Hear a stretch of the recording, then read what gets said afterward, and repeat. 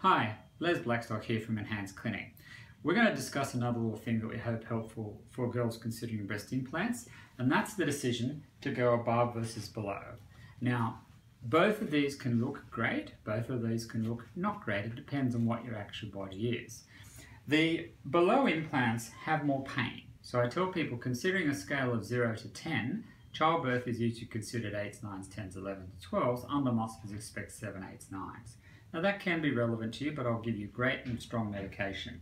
It usually takes 7 to 10 days on a downtime, the more physical the job the more, and you usually 2 to 3 weeks of exercise, stronger amount of times off weights, 5 to 6 weeks, and the final result can take 6 to 16 weeks to settle down.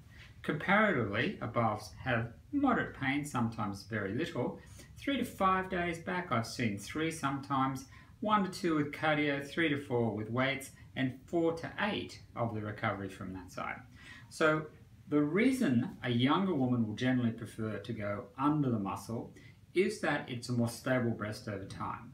However, if you're older and you don't have as much time or you're more willing to support your breast, often going above can still give you a stable breast.